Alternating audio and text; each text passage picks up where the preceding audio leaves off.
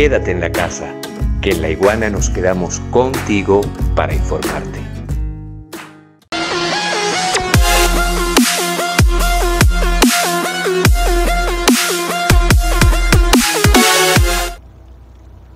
El virus va a seguir afectando a la humanidad. Vamos a tener que seguir atentos del método correcto a aplicar. Nosotros no podemos renunciar al método 7 más 7, ni podemos renunciar a las medidas preventivas, pero siempre de manera voluntaria y consciente. Las medidas preventivas no pueden ser impuestas al pueblo, con toques de queda, con represión.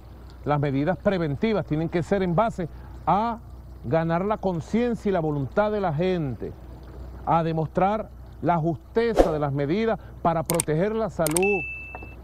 Nosotros no renunciamos a las medidas preventivas, no renunciamos al 7 más 7.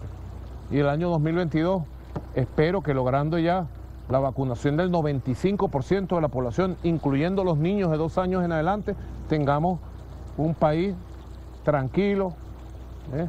desplegándose de manera libre, trabajando con su vida social medianamente normalizada y disfrutando como ha disfrutado de una gran felicidad durante estos dos últimos meses del año 2021.